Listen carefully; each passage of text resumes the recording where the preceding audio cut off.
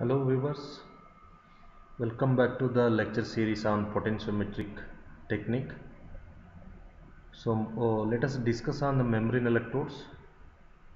Uh, as you know, the membrane electrodes are the indicator electrodes which are very essential for a potentiometric method of analysis. So if you are going to perform analysis by means of a potentiometric technique, reference electrode and indicator electrodes are very very important components. So any of the reference electrode you are going to use, the other electrode must be acting like a indicator electrode. So the indicator electrode is also called as working electrode. So uh, into the class of indicator electrodes or working electrodes, uh, metallic indicator electrodes and membrane indicator electrodes are the principal classes or principal categories of the working electrodes we can come across. So let us uh, discuss on the membrane electrodes. So membrane electrodes are as we discussed in our last module, they are also indicator electrodes.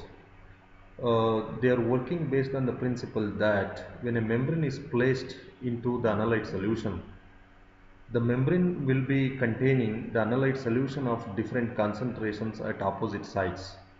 If the concentration of the analyte at the opposite sides of the membrane is different, then definitely there is a eventual development of the potential difference. That potential difference is called as membrane potential. This membrane potential can be related to the EMF of the cell or the potential generated by uh, the principle by which we are going to measure the concentration of the analyte. So therefore, the membrane potential or the electrochemical cell potential is directly proportional to the concentration of the analyte. So uh, let us draw your uh, attention about the knowledge on membrane electrodes. So already you know the definition of membrane electrodes. What kind of membrane electrodes we will be using. So let us discuss one by one. Particularly, uh, you are aware about the glass membrane ion selective electrode. pH electrode you will be using. So that will be belonging to the membrane electrode or membrane sensor class. Even we will come across with crystalline solid state ion selective electrodes so which are constructed by means of a typical crystal and this crystal may be a single uh, inorganic uh, substance or a multiple inorganic substance or a polycrystalline material whatever it is and some membrane electrodes will be working based on the principle that uh, we will be using a membrane which is immobilized into a tube and the tube is containing any complexing agent and the species under investigation will be accessed through the membrane and to react with the complexing agent present in the electrode. So eventually there will be development of the potential that is going to be related with the concentration of the light. And these type of electrodes are called as liquid based membrane electrodes. And uh, some gaseous species present in uh, liquid samples or uh, gaseous samples can also be determined by means of specially devised sensors and those sensors are also belonging to the membrane electrodes and they are called as gas sensors. And the membrane electrodes which are used as a probe to determine the concentration of any gaseous species which may be dissolved either in liquid or one gaseous species may be present uh, in the mixture of several gaseous components. So these gas sensors are going to be beneficial in order to determine the concentration of the gaseous species. And in uh, biological materials such as blood, glucose, urine, saliva and sweat samples uh, and these samples may be from either human or animals or whatever it is, the sensors are extended in order to determine the chemical components present in such biological materials and these are also called as membrane electrodes and these membrane electrodes are commonly named as biosensors because they are used in potentiometric method of analysis they are called as potentiometric sensors. So let us continue uh, our discussion on the membrane sensors or membrane ion selective electrodes. First of all let us discuss on the glass membrane electrode. This glass electrode is very popular because you will be using this uh, glass electrode in numerous uh, amount of analytical work so you have seen glass electrode right from your PU level So uh, this is a uh, schematic representation of the glass electrode or pH electrode. Uh, the principal component of this glass electrode is the bulb which is present at the tip of the electrode. This bulb. So this bulb is called as glass membrane. This glass membrane is responsible for the selective functioning of uh, this particular electrode. So this electrode is constructed very easily. So let me say a membrane which is constructed uh, by uh, using a chemically composed matter. I will tell you what is the chemically composed matter. A uh, membrane of uniform thickness has been constructed and the constructed membrane will be sealed into either a Pyrex tube or a non-conducting tube and the tube is filled by the solution such as KCl and AgCl. The tube is filled by the solution such as KCl and AgCl. The bulb is filled by or the membrane is filled by 0.1 molar hydrochloric acid which is saturated with silver chloride precipitate or silver chloride solution. Saturated solution of silver chloride is mixed with 0.1 molar hydrochloric acid and it will be filled into the membrane. And this uh, bigger tube, this bigger tube has made used in order to immobilize the membrane to the tape and inside this particular tube uh, there is a reference electrode and this reference electrode is called as internal reference electrode and to the bigger tube another reference electrode is also present where this reference electrode will be having direct contact with the analyte solution into which the pH electrode is immersed. So this electrode is called as sample reference electrode. Since silver silver chloride electrode have been used here as a reference electrode which have been immersed into internal reference solution or sample reference therefore they are called as internal reference electrode and sample reference electrodes respectively. And instead of uh, internal reference silver silver chloride electrode even you may use saturated calomel electrode. So uh, in the cases of the glass electrodes where you have used the uh, saturated calomel electrode as internal reference electrode that glass electrode is called as combined electrode because the indicator electrode will be the membrane electrode and the reference electrode is going to be the saturated calomel electrode or even silver silver chloride electrode will be acting as a reference electrode. Therefore, this electrode is called as combined glass electrode because both cathodic and anodic function are exhibited by this electrode. Uh, we will use only single electrode. We don't use two electrodes while connecting to the potentiometer and uh, uh, in order to do the connection special arrangement has been made in such a way that only one terminal of the electrode will be connected to the potentiometer. That's that's what this electrode is called as combined electrode. So i told you about uh, the glass membrane. The glass membrane uh, can be fabricated can be designed by our own. Uh, theoretically a Corning 015 glass material has been used uh, in order to construct the glass membrane for glass electrode. So Corning 015 is a brand name and this Corning 015 glass membrane is nothing but which is composed by sodium oxide, calcium oxide and silicon dioxide of uh, proportions 22%, 6% and 72% respectively.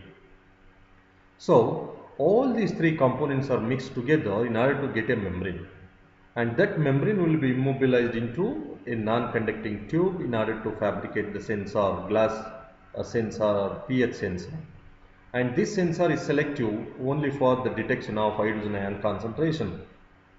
So as you know by principle since uh, inside the membrane at the bulb, 0.1 molar hydrochloric acid solution is present. When you immerse this membrane into the analyte solution which is having concentration of hydrochloric acid different from 0.1 molar, eventually there will be development of the membrane potential and that form the basis to measure the concentration of hydrogen ion and even parallelly the concentration of hydroxyl ion either pH or POH both can be determined by means of this glass electrode. So, uh, since the hydrogen ion concentration is related to the potential difference, so according to the Nernst equation, the potential difference uh, generated while using the glass electrode can be uh, related to the hydrogen ion concentration by this particular equation. So, E cell is equal to K plus 0.05916 into logarithmic concentration of hydrogen ion. So this is the equation which is very useful and uh, which explains the relationship between the potential difference and the hydrogen ion concentration. Okay, so what is the basis in order to detect the hydrogen ion concentration, in order to determine the hydrogen ion concentration by using this glass electrode? This is the equilibration reaction takes place. So you assume this is going to be the glass membrane G minus and Na plus. The glass membrane when you uh, made it sufficiently hygroscopic, when the uh, outer surface of the membrane is sufficiently hydrated, the dissociation of the membrane takes place in such a way that the negatively charged glass surface and positively charged sodium ion will be available at the membrane. Here, the sodium ion will be a free ion and the negatively charged surface of the glass is going to be fixed. So, as a result of the freeness of this sodium ion, in place of sodium ion, hydrogen ion is having capability to displace itself. So, this is the equilibrium reaction going to be taken place when you immerse the glass electrode into the analyte solution containing hydrogen ion. So, if you look at the analyte solution into which you have immersed the glass electrode, hydrogen ion from the sample solution will replace the sodium ion in the membrane in order to get G minus H plus plus Na plus and this Na plus will be released to aqueous solution into which the electrode has been immersed. Therefore, with respect to the number of hydrogen ions replaced in place of sodium ion, the sensing will be done by the sensor. So, uh, this is the actual principle involved while using the glass electrode. Therefore, this glass electrode or also called as pH electrode is very very selective sensor in order to detect the concentration of the hydrogen ion in order to determine the concentration of the hydrogen ion present in whichever the solution into which you are going to immerse. Okay. So, if you use the glass electrode of such composition that is Corning 015 uh, material which is suitable to measure the pH from the range of 0.5 to 9 only. So, Corning 015 glass material containing silicon, silicon dioxide, sodium oxide and calcium oxide which is suitable to measure the pH in the range from 0.5 to 9. What will happen if the pH is greater than 9? If the pH is greater than 9, the membrane will also become respon responsive to sodium ion and potassium ion. Means, you know the selectivity coefficient. The selectivity coefficient of the pH electrode will be greater than or equal to unity when the pH of the solution is greater than 9. So, this electrode is not going to be suitable in order to measure the pH of the solutions containing sodium ion and potassium ion. Corning 015 containing silicon dioxide, sodium oxide and calcium oxide is not a suitable electrode to measure the pH whenever the sample solution is containing sodium ion and potassium ion. So, let us illustrate this with a, a very simple example. So, this is an example given here. The selectivity coefficient for Corning 015 glass for hydrogen and sodium ion is given as 10 power minus 11. So what is the error which is involved while measuring the pH of a solution of 0.05 molar sodium hydroxide? So while measuring the pH of 0.05 molar sodium hydroxide by using a glass electrode which is having a 10 power minus 11 selectivity coefficient for hydrogen ion in the presence of sodium ion. According to this, according to the selectivity coefficient value, this sensor must be uh, too poor in order to detect the sodium ion. It should not be a, a, selective sensor to detect the sodium ion because the selectivity coefficient is 10 power minus 11. It is far lesser, very very lesser than unity.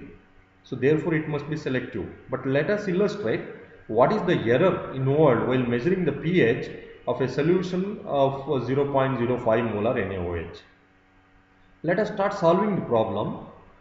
You know 0.05 molar sodium hydroxide solution will be having a pH of 12.7. You know negative logarithm of hydrogen ion concentration is pH. Similarly, negative logarithm of hydroxyl ion concentration is POH. So, you know hydroxyl ion concentration, NaOH concentration is 0.05 molar. You calculate POH. POH will be simply minus log of 0.05 POH will be getting so pH will be pKw minus POH 14 minus POH if you do if you simplify that you will be getting pH of 12.7 so if you measure the pH for 0.05 molar sodium hydroxide the pH will be 12.7 so according to this the hydrogen ion concentration actual will be 2 into 10 power minus 13 molar. 2 into 10 power minus 13 molar. So you have to calculate the error while measuring the pH of uh, 0.05 molar sodium hydroxide solution. As we know, the pH of 0.05 molar sodium hydroxide is 12.7. So, according to this, the electrode is not suitable to measure the pH if the solution's pH is greater than 9. 12.7 is greater than 9. Therefore, this electrode will be definitely uh, incorporating some error while measuring the pH. Okay, let us demonstrate that. So, this means to say that this electrode is uh, selective for both hydrogen ion and sodium ion means it will respond not only to hydrogen ion but also to sodium ion. So, what is the apparent concentration of hydrogen ion then?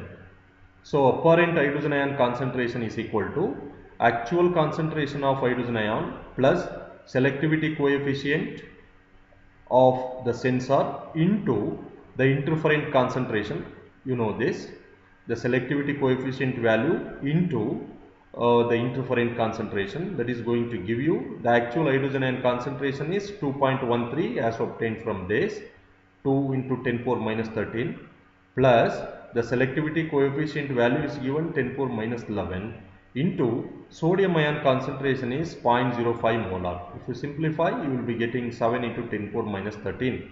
So this is going to be uh, the apparent hydrogen ion concentration. If you calculate the pH for this, this will be 12.2. So what is the difference between 12.7 and 12.2? So the change in pH or the error involved while measuring the pH of 0.05 molar sodium hydroxide is 12.2 minus 12.7 you will be getting minus 0.5 pH units.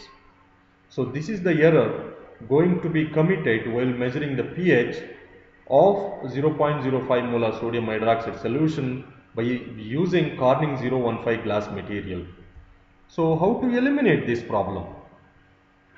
So Corning 015 membrane what you have prepared by using silica, calcium oxide and sodium oxide.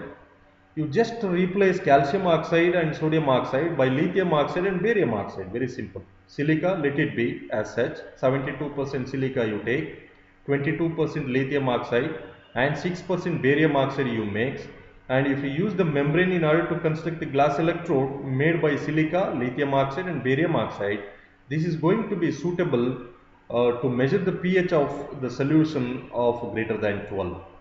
Any solution which will be having pH greater than 12, the glass membrane electrode made by Corning 015 membrane uh, with silica Li2O 22%, barium oxide 6% is the most suitable sensor. Okay. So apart from this uh, material which is used to construct the glass membrane, and consequently the glass electrode. The other membranes can also be used in order to construct the glass electrode where you can use, you can mix 11% sodium oxide, 18% alumina and 71% silica and this membrane will be quite selective for the detection of sodium ion and that sensor will also be called as sodium ion selective electrode. So sodium ion selective electrode can be constructed by using sodium oxide, aluminum trioxide and silica. And not only sodium ion sensors or potassium ion sensors or hydrogen ion sensors, but also the lithium ion, potassium ion, rubidium ion, cesium ion, ammonium ion, silver ion and thallium ion sensors can also be constructed by using uh, the Corning 015 like materials. Of course, you can modify the composition of the glass membrane. Therefore, you can increase the selectivity of the membrane you can decrease the selectivity coefficient or you can increase the selectivity of the membrane in order to measure the concentration of either Li plus or K plus or Rb plus etc. So this is about the glass membrane uh, electrodes. So you will be using the pH electrode or glass membrane electrode or glass electrode uh, on a routine basis because without a glass electrode, without the use of glass electrode, we cannot succeed any experiment. If you are going to synthesize a product, uh, you need to adjust the pH. If you are going to perform a chemical, any chemical reaction, you need to adjust the pH. So adjustment of the pH will be assured by means of measurement of pH by using glass electrode. So you will be using the glass membrane ion selective electrode on a day-to-day -day basis, on a routine basis. Therefore, you should know what are the precautionary measurements needed to be taken while using this particular electrode. Okay, the glass membrane at the tip of the electrode is only 50 millimeter thickness. You can see at the uh, tip of the electrode there is a membrane, there is a bulb and that bulb will be having nearly 50 millimeter thickness. So this is very less. This is very very less. So you have to handle the electrode very carefully. You cannot handle the electrode more roughly because uh, if you handle the electrode more roughly there will be chances of breaking up of the membrane is possible. And even if the membrane surface is cracked if the membrane surface is cracked that electrode is not going to be usable because the hydrochloric acid solution present inside the membrane will come out then the electrode is damaged it is not going to be useful. Okay. So before the use of the glass electrode at any point of time you must condition it so how to condition the electrode? Very simple. You take the glass electrode and you immerse into the analyte solution uh, for a couple of hours. 2 to 4 hours you can immerse. Suppose today by uh, 3 o'clock you are going to use the electrode. By 12 or by 11 uh, in the morning you can immerse the electrode into the analyte solution so that you can make the surface of the glass electrode sufficiently hygroscopic or hydrated. So you can immerse the glass electrode, you can soak the glass electrode into analyte solution for several hours in order to condition it. Uh, in the meantime, once the work with the glass electrode is over, you should not allow the membrane to dry out. So what you have to do? you have to uh, make sure that the outer surface of the glass membrane is sufficiently hydrated. So in order to do this, you have to immerse the glass electrode always in uh, the distilled water or you take a gauge, you fill the gauge by water, distilled water and you immerse the bulb of the electrode into the gauge, weighted gauge so that the electrode uh, membrane or the membrane surface will be maintained hydrated for a longer interval of time. So these are the three points you have to remember. You should not allow the electrode to undergo cracking. You should not allow the uh, electrode to uh, become dry. If it is dried, you have to condition it. So conditioning is very very important before its usage. So you know the composition of the glass membrane uh, undergo to change. You will use sodium oxide, you will use lithium oxide, you will use barium oxide. All these are chemical components. So definitely the composition will be changing over time. So therefore, as the composition of the glass membrane is changed, definitely the performance efficiency of the electrode is also uh, prone to undergo changes. So therefore, we can fix the lifetime of this glass electrode too. Of course, several years will be the lifetime. If you purchase the electrode today, it, uh, it may be last up to 4 years, 5 years, 6 years, up to 10 years. I have an electrode and it is 10 years old and its functioning is most efficient. So it is not uh, yielding any erratic results because the conditioning is made regularly. Uh, it was not allowed to undergo cracking or breakage. So its functioning is more appropriate and proper. So these are about the glass membrane electrodes. So uh, this is a table which is showing uh, different ion selective electrodes particularly for sodium ion, lithium ion and potassium ion and what is the membrane composition uh, of Corning 015 glass for sodium ion selective electrode and similarly for lithium ion selective electrode and potassium ion selective electrodes are given here. So their selectivity coefficient in the presence of hydrogen ion, in the presence of potassium ion, in the presence of sodium ion, potassium ion, sodium ion. You can look at the selectivity coefficient values of these sensors and by means of this you can come to know whether this electrode is suitable uh, to detect either Na plus or Li plus or K plus otherwise we cannot. If you look at this uh, in the presence of hydrogen ion, the sodium ion sensor is not suitable to measure the concentration of sodium ion because the selectivity coefficient is 1000. The selectivity coefficient uh, for sodium ion selective electrode in the presence of hydrogen ion is 1000. It is not going to be suitable. But in the presence of potassium ion and uh, lithium ion, it is only 10 power minus 3. So it is most suitable. Sodium ion sensor is, is most suitable to detect the concentration of Na plus in the presence of K plus and Li plus because the selectivity coefficient is 10 power minus 3. Similarly, lithium ion, it is having very less selectivity coefficient and even uh, potassium ion selective electrode, it is also having the selectivity coefficient value of 0.05. Therefore, these three sensors are very very useful sensors for the determination of Na plus, Li plus and K plus concentrations in analyte solutions. So apart from glass membrane sensors or pH electrode, pH sensors, solid state crystalline ion selective electrodes are other important class of indicator electrodes or working electrodes. So these are also working electrodes or indicator electrodes which are commonly used in potentiometry. Uh, they are fashioned from uh, polycrystalline material uh, which may be a single crystal or multiple crystal. So any inorganic uh, single crystal salt will be used which may be also a polycrystalline material will be used in order to fabricate the solid state crystalline membrane electrode. So uh, let me demonstrate one simple example. If I use a thin pellet of silver sulfide Ag2S silver sulfide and I will construct a membrane. Suppose if you construct a membrane of silver sulfide, uh, the membrane sensor is going to be quite selective for the determination of silver as well as sulfide.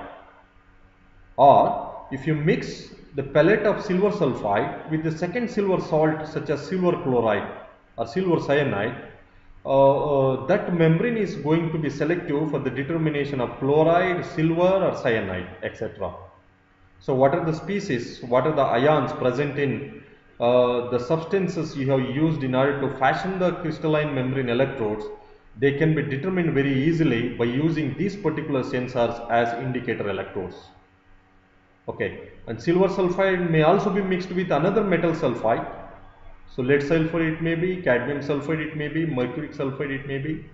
You can mix with silver sulfide in order to get the respective uh, solid state crystalline membrane electrode. Okay, what are the features of these electrodes? You take a pellet and you fabricate a membrane of 1 to 2 millimeter thickness and you uh, immobilize this particular membrane into one end of the non-conducting plastic cylindrical tube. It may also be a Pyrex tube, it should be a non-conducting tube and fill the tube by the internal solution of the analyte of known concentration. Then uh, you immerse a foil of inert wire into the internal solution, then connect to one terminal of the potentiometer and immerse that electrode into the analyte solution. Then a reference electrode 2 is required into uh, uh, immerse into the analyte solution. Then the terminal of the reference electrode must be connected to the potentiometer. So you have assembled the potentiometer, then you can measure the potential of the analyte solution which is containing the species of uh, light one which is used in order to fabricate the membrane. So uh, the electrodes of this class solid state crystalline membrane electrodes are used to determine silver or sulfide by using silver sulfide crystal. Uh, they are also used to determine chloride or sulfide or uh, the mixture of AgCl and silver sulfide crystals can be used as uh, uh, material in order to construct the membrane sensor or ion selective electrode for chloride and this sensor is not only selective for chloride but also for sulfide as well as silver. And when you mix silver sulfide with other metal salts such as silver chloride or uh, lead sulfate or lead sulfide etc. and uh, the membrane so designed will become to function as ion selective electrode for the determination of the membrane uh, present in the second inorganic salt what you have chosen. So metallic concentration can also be determined. So let us discuss one by one how to use uh, silver sulfide crystal in order to determine the silver and sulfide concentration and the mixture of silver sulfide and silver chloride uh, how to use it in order to fabricate the membrane sensor uh, for chloride ion selective electrode.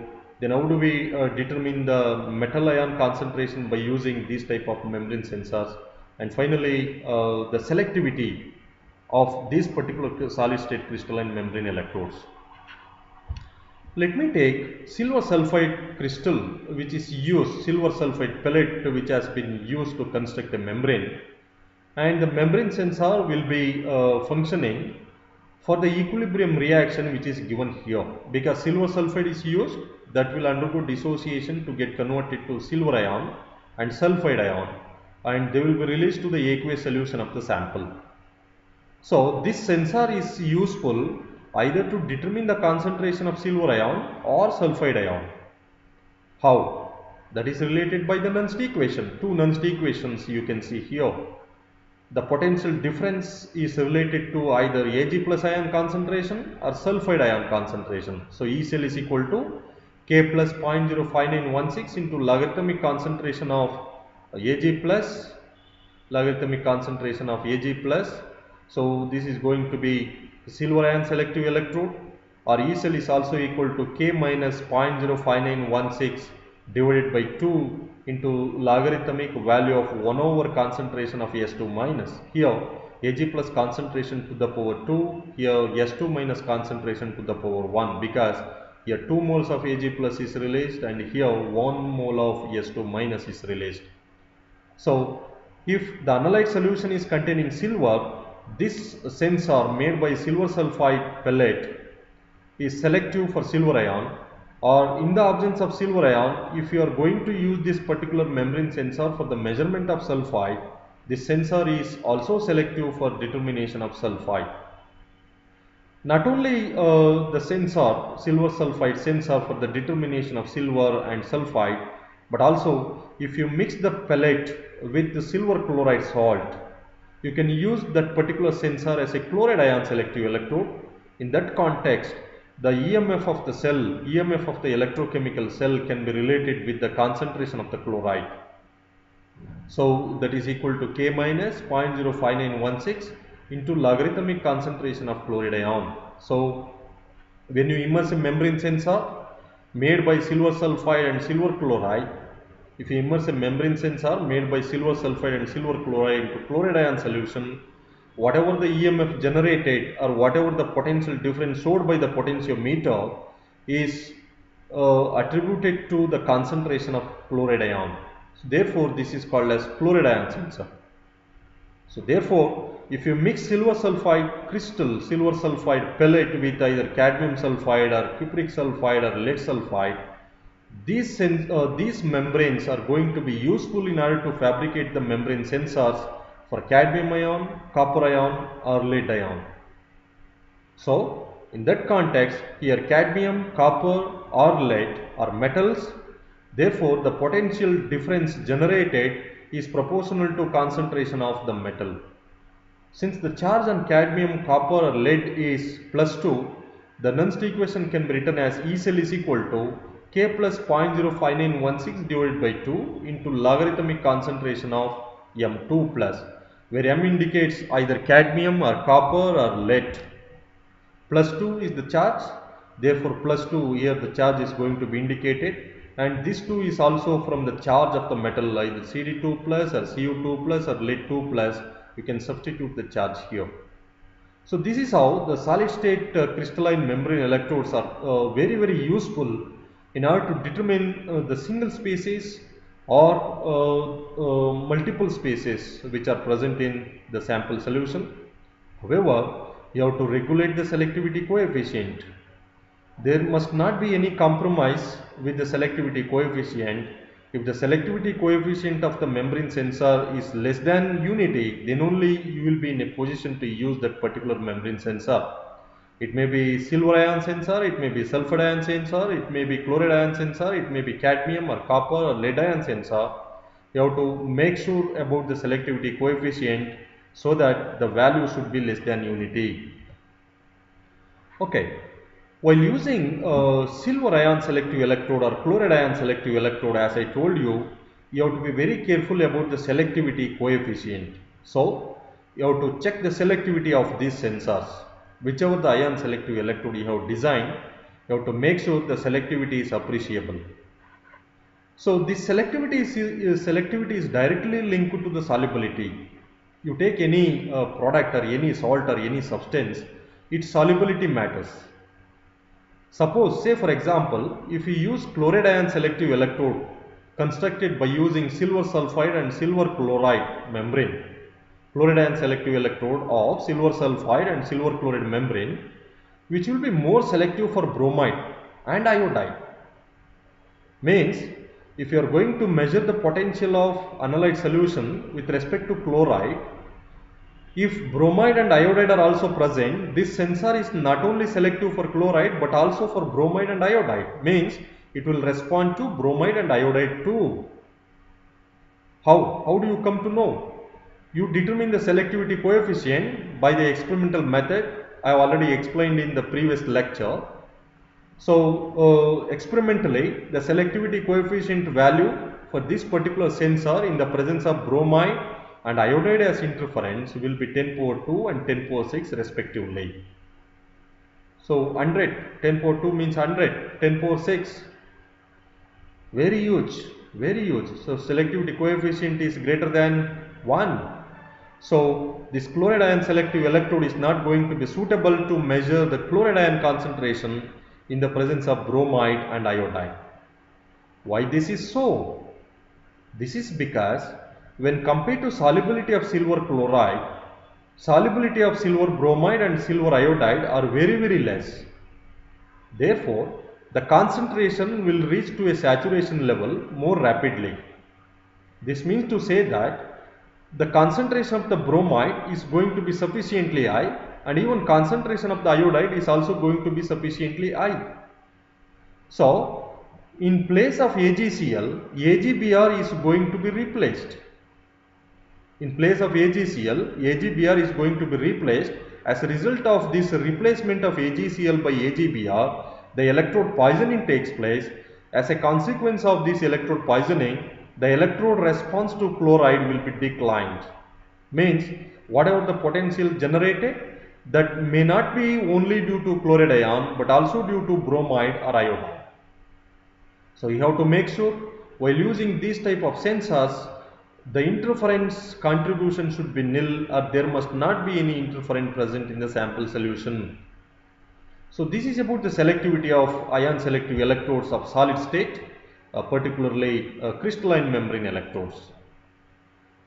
Another uh, precautionary measure you have to take while using silver sulfide electrode. Say for example, you are going to use silver sulfide membrane sensor for the determination of sulfide, you must aware about the pH. If the pH is acidic, sulfide will be in equilibrium with hydrogen sulfide. S2 minus plus H plus, you are going to get HS minus. So that is going uh, going to be as a equilibrium reaction between S2 minus and H plus.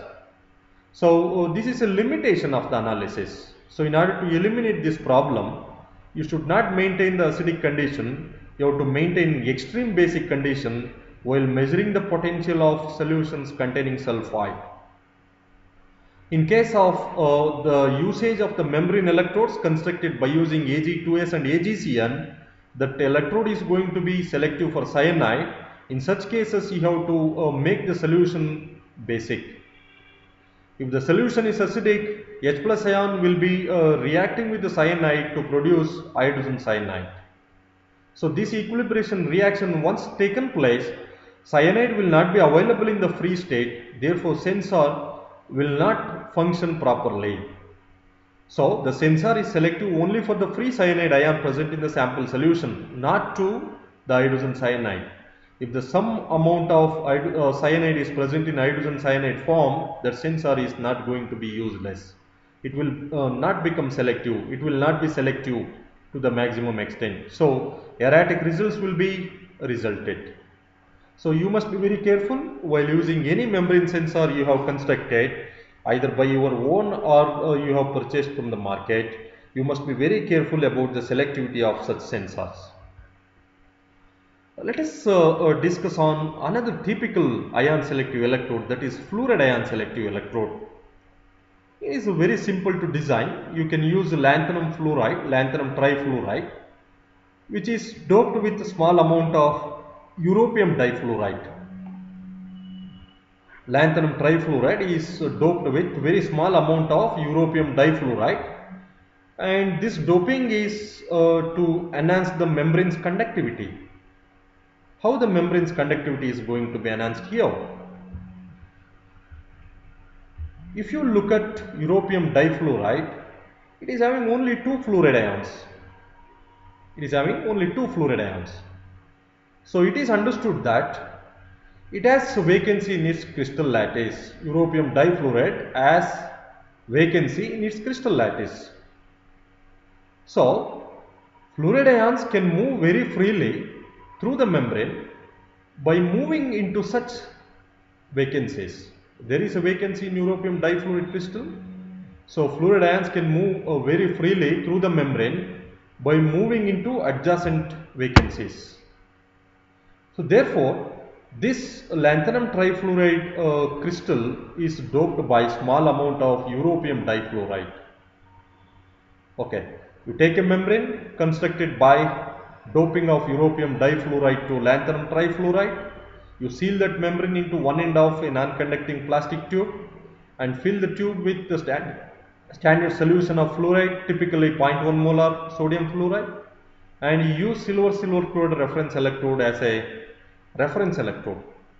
So, if you measure the potential by using fluoride ion selective electrode, the E cell value will be eventually proportional to fluoride ion concentration that is related by this particular Nernst equation. E cell is equal to K minus 0.05916 into logarithmic concentration of fluoride ion. So, the electrode constructed so will be highly advantageous because no any interferences are found during the measurement of the potential while using this lanthanum uh, trifluoride europium difluoride sensor.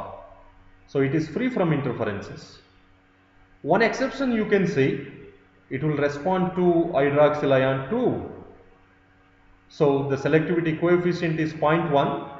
The selectivity coefficient of uh, fluoride ion sensor will be 0.1 in the presence of hydroxyl species. Therefore, it is going to impose a maximum pH limit. So, what should be the concentration of hydroxyl ion? You have to be aware about that. You assume acidity matters here. If the pH is greater than 4, if the pH is greater than 4, while using fluoride ion selective electrode to measure the concentration of fluoride, fluoride will be available in the free state. Fluoride will be available in the free state if the pH is greater than 4. You assume if the pH is less than 4 means the solution is going to be acidic. So, free fluoride ion will be in equilibrium with hydrogen fluoride by reacting with hydrogen ion H plus plus F minus gives rise to HF. So HF is going to be formed but this sensor is suitable to measure the free fluoride ion concentration but it is not suitable to measure the concentration of hydrogen fluoride. So therefore hydroxyl ion concentration is very uh, important here. You must be very cautious while using this electrode you must uh, increase the pH beyond 4 before measuring the potential of fluoride ion solution. So, this is about uh, fluoride ion selective electrodes. And whatever uh, the crystalline membrane electrode it may be, whether fluoride ion selective electrode it may be a silver ion or cadmium ion or lead ion or copper ion, conditioning, you must be very aware about the conditioning there is no much conditioning is required while using crystalline membrane electrodes. No need to condition uh, to the uh, more extent. But in some cases, uh, say for example, due to the formation of AGBr or AGCl, the electrode poisoning takes place. Means there will be more amount of the product such as AGBr or AGI or AGCl that is going to be accumulated to the membrane. So, you have to remove that. What is the species accumulated to the membrane? You have to remove. Removal of uh, such species is very very simple. You can sand it, you can polish it. You take a sand in a beaker, you immerse the membrane sensor, you rotate it. So, that is called as sanding. Not only it is sanded, but also simultaneously it has been polished.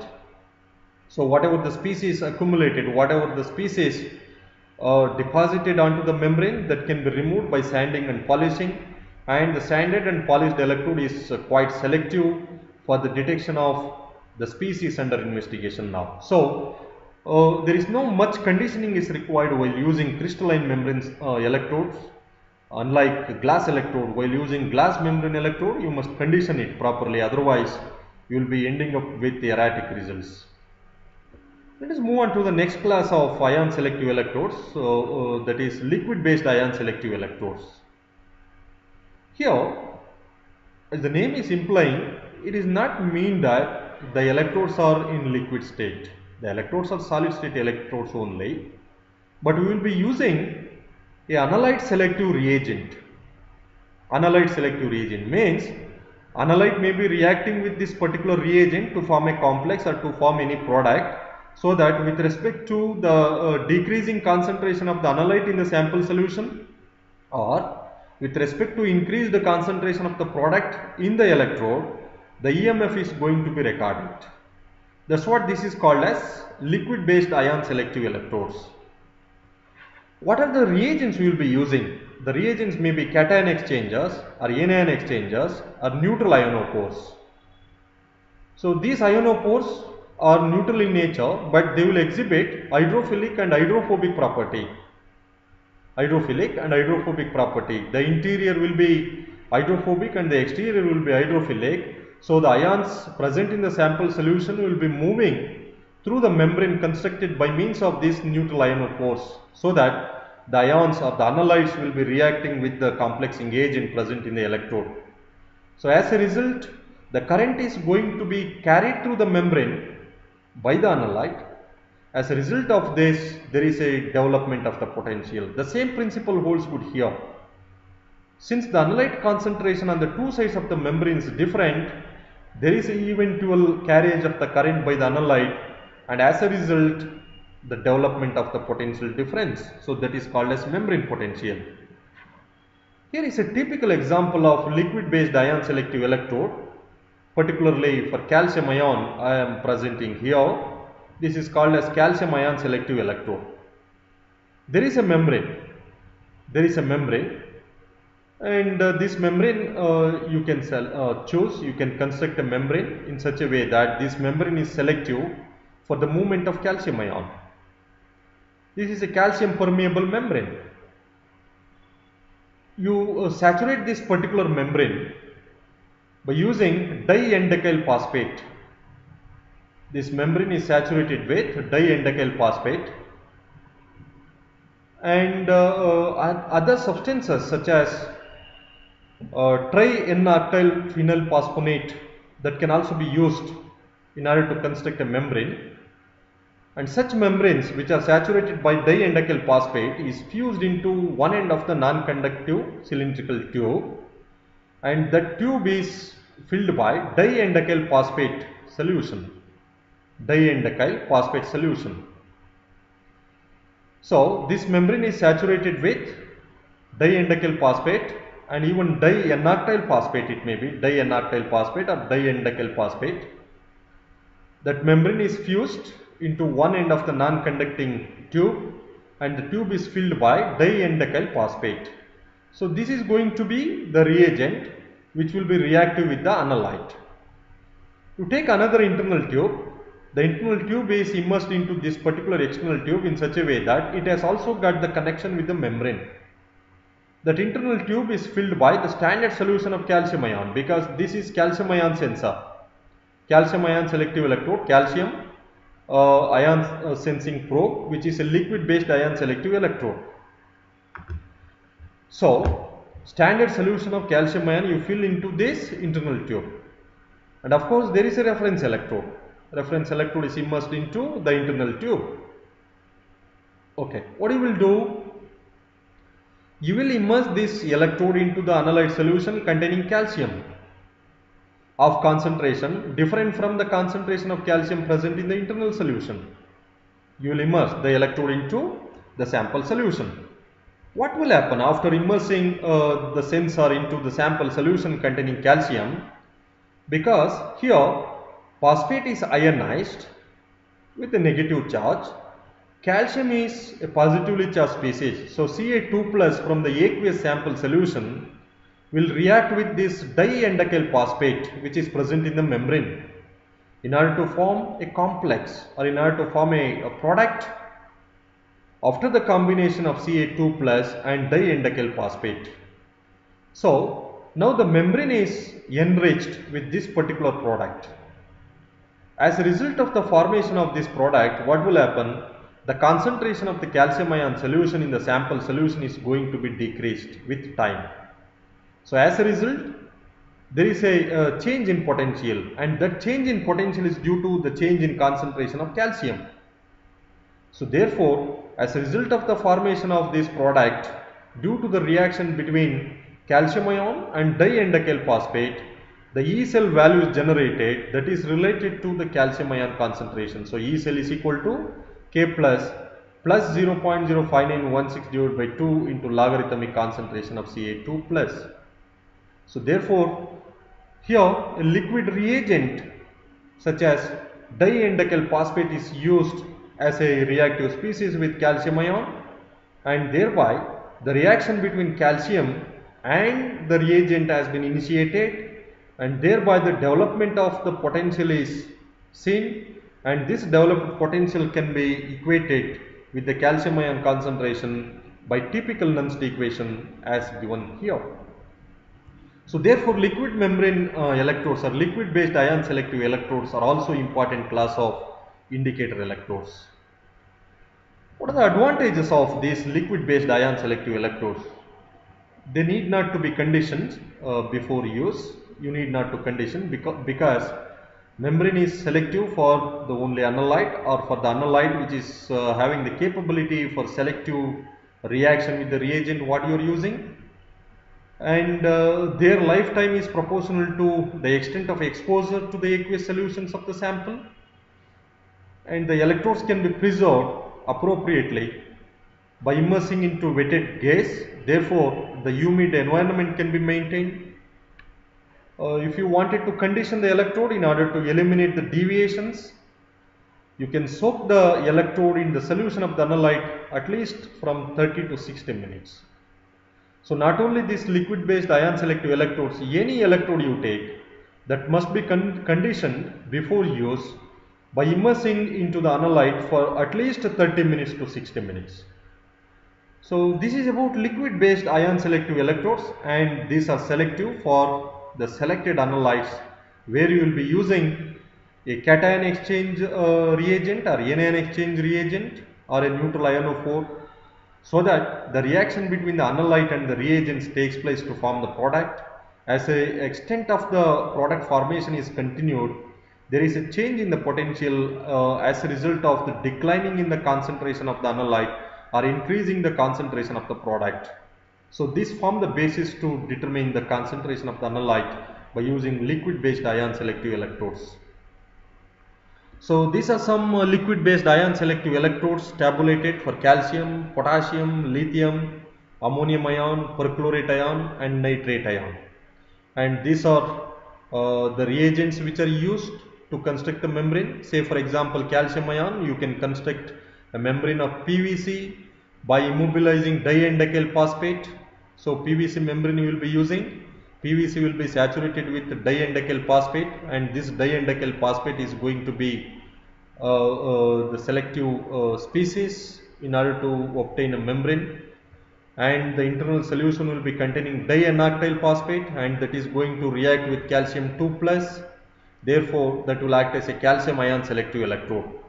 Similarly, valinomycin and PVC membrane you can use for potassium ion, similarly for lithium ion, ammonium ion and perchlorate ion etc.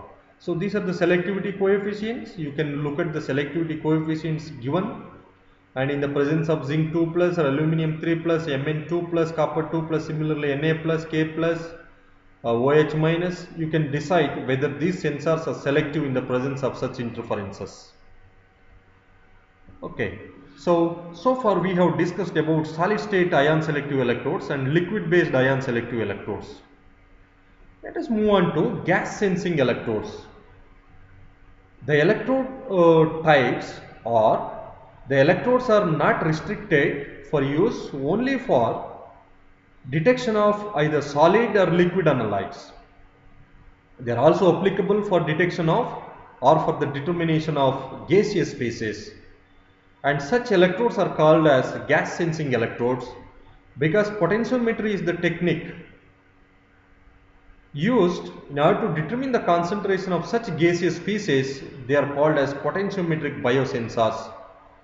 Why do I use here biosensors? Because this type of sensors are applicable or usable to the determination of concentration of glucose or urea or creatinine or uric acid or chloride or sodium or potassium in any biological material such as blood, plasma, urine, serum, etc. So, such sensors are called as potentiometric biosensors. Here I am presenting a typical uh, gas sensing electrode for the detection of carbon dioxide. Therefore, this is called as carbon dioxide sensor called as carbon dioxide sensor. So, you can see here this is a, a, gas permeable membrane. This is a gas permeable membrane.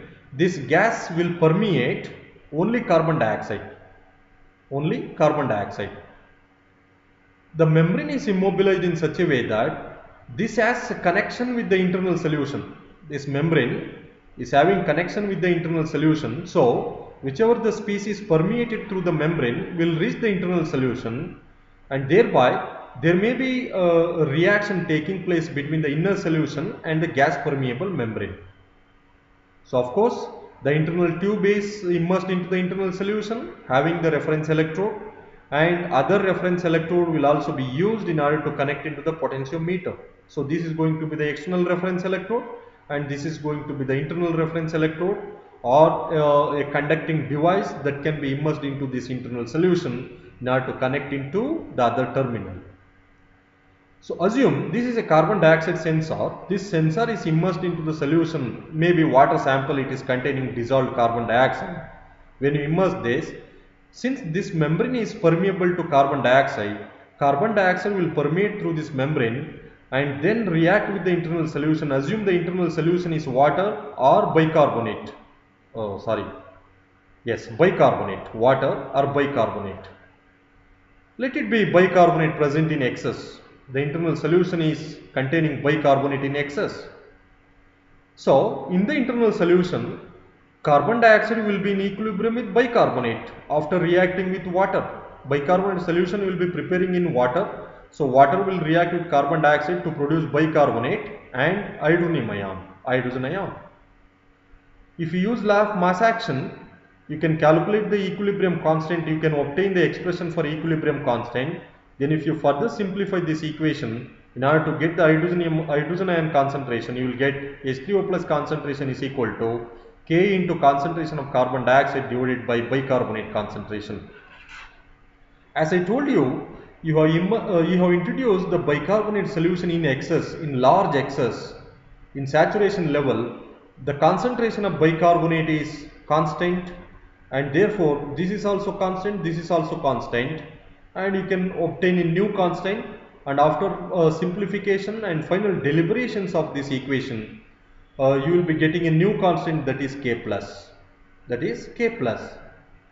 So finally the Nernst equation can be written such that E is equal to k dash plus 0.05916 into logarithmic concentration of carbon dioxide so here K dash is a new constant includes constant for the pH of the ion selective electrode, pH ion selective electrode which you will use here because hydronium ion is going to be the product. So you have to use here the ion selective electrode which has to be connected to the potentiometer. So glass electrode you can uh, immerse into the internal solution. Uh, as the carbon dioxide is permeated through the membrane, it will react with water to produce hydronium ion Therefore, pH is keep on changing. So, pH uh, selective electrode will be immersed into here. Therefore, K dash is uh, uh, with respect to pH ion selective electrode, the equilibrium constant and the concentration of bicarbonate. So, therefore, E cell is proportional to carbon dioxide concentration. Therefore, this is called as carbon dioxide sensor. So like this, even hydrogen cyanide, hydrogen fluoride, hydrogen sulfide, ammonia, uh, uh, nitrogen dioxide and sulfur dioxide can also be determined but you must make sure that these are the internal solutions you can uh, introduce. Into which what is the ion selective electrode needed to be immersed? pH electrode silver sulfide membrane electrode fluoride ion selective electrode silver sulfide electrode glass pH electrode or pH electrode or pH electrode because dependent upon the product which is going to be formed after the reaction between the analyte and the internal solution here it is given what are the products bicarbonate and hydronium ion cyanide and hydronium ion here uh, silver will be in equilibrium with cyanide therefore silver sulfide membrane electrode is most selective electrode for the determination of cyanide concentration. And fluoride ion selective electrode can be used here because fluoride is going to be the product. Hydrogen sulfide is going to be the product therefore silver sulfide electrode can be used. Ammonium ion is going to be the species and OH minus is going to be the species while using uh, the electrode for determination of ammonia. So pH electrode similarly here hydronium ion and hydronium ion. So glass electrode can be used. So one thing you have to remember while using this electrode that you have to replace the internal solution because the concentration of the internal solution or the composition of the internal solution uh, is prone to undergo changes because of these products going to be formed. So these electrodes must be stored in solution similar to the internal solution so that we can minimize their exposure to the atmospheric gases because these sensors are suitable for the measurement of gaseous species. So we have to avoid the exposure of these sensors means to say that the membranes exposure to the atmospheric gases must be avoided so that its lifetime can be increased. Okay. So, potentiometric biosensors apart from uh, gas sensors, potentiometric biosensors as the name is implying these potentiometric sensors are used in order to determine the uh, molecules concentrations in biochemical samples. So particularly say for example, if you are going to determine uh, glucose by using glucose oxidase as a enzyme which is immobilized over the surface of the membrane, then uh, glucose oxidase enzyme you have used, therefore uh, these type of electrodes are called as enzyme electrodes. Similarly urea, uricase enzyme if you use, so urea electrode is called as urea based enzyme electrode. Therefore these electrodes are called as biosensors because they are applicable to determine the concentration of the analyte in the samples of biological origin. So these type of electrodes are called as enzyme based sensors or enzyme electrodes or potentiometric biosensors. One simple example I can give you here urea electrode which is based on the catalytic hydrolysis of urea by urease. You assume a membrane, membrane is uh, uh, saturated with urease urease is immobilized into the membrane. So urease catalyze the hydrolysis of urea. This is going to be urea. Urea undergo hydrolysis by uh, the influence of urease in order to get ammonium ion and carbonate.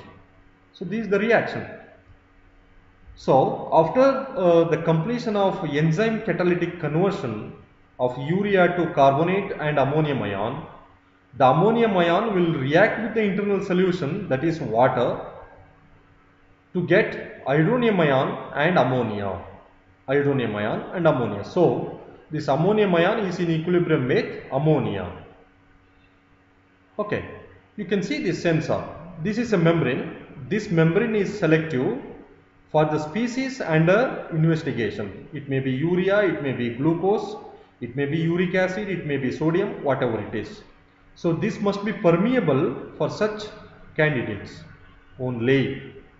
So this is a dialysis membrane. Through this, the species or analyte will be dialyzed and then they will uh, be reaching the phase containing the urease where the uh, conversion takes place. Then the product obtained such as ammonium ion will permeate through this membrane because ammonium ion will be in equilibrium with ammonia. Say for example while demonstrating uh, urea electrode ammonium ion will be released after the interaction between urease and the urea. And that ammonium ion is in equilibrium with uh, ammonia after reacting with water. So this is a membrane selective for the permeation of the ammonia gas. So ammonia gas will be permeated through this membrane where the internal solution is present and this internal solution is immersed by the pH ion selective electrode. As the ammonia is entered here, the pH of this solution will be increasing as a result of the conversion of ammonium ion into ammonia. That, that's it. Therefore, the change in pH must be recorded by means of the ion selective electrode that is pH electrode. So, you will use here two membranes. One is dialysis membrane. This will be allowing the dialysis of the analyte. Then, uh, after the dialysis membrane, there is a uh, membrane solution interface for the enzyme, immobilization of the enzyme. Membrane uh, uh, analyte will permeate through the membrane and react with the urease so, in order to initiate the enzyme based conversion, in order to produce the product that is NH4 plus, so that will be in equilibrium with ammonia. So, ammonia will permeate through this secondary membrane because this membrane is permeable to ammonia only.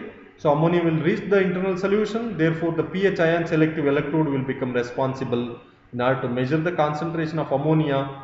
Therefore, the E cell whatever you are going to record is directly proportional to concentration of urea. So like this, it may be glucose sensor, it may be uh, urea sensor, it may be sodium sensor, it may be uric acid sensor, whatever it is. You will use two reference electrodes. One reference electrode will be external and the other reference electrode will be internal. Here, this is not called as a reference electrode, this is a ion selective electrode. So as a whole, this is going to be the indicator electrode and this is going to be the ion selective electrode. This will become responsible in order to detect the concentration of hydrogen ion or the concentration of ammonia. So thus the potential difference whatever recorded is proportional to urea concentration. So once urea started to migrate, started to permeate through this membrane, its concentration in the aqueous sample solution into which the sensor is immersed will be decreasing. Therefore, E cell value will have the response. So, uh, in an alternative way, the urea sensor can be constructed by using glass electrode very simply. How? You take the glass electrode, you have the glass membrane, you immobilize the urease into the glass membrane, into the polymeric membrane of the glass, you immobilize urease.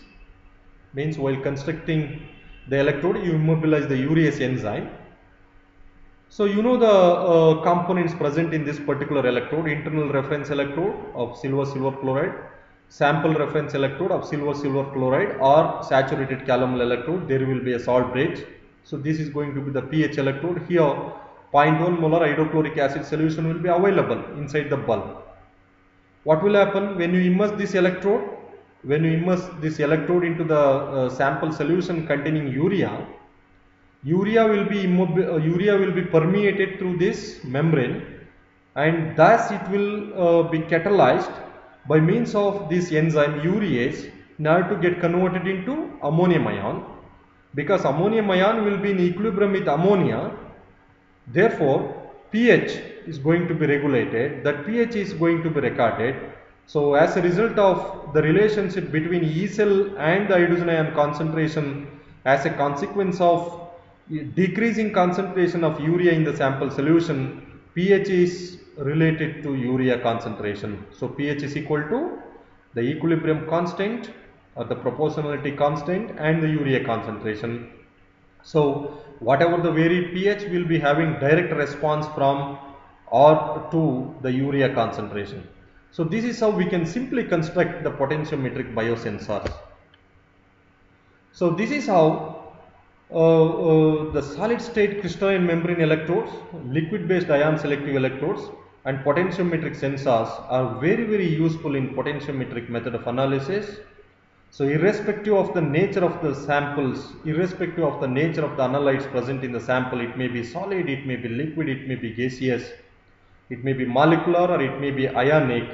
Uh, the sensors are very very useful in order to quantify the analytes present in the sample solution.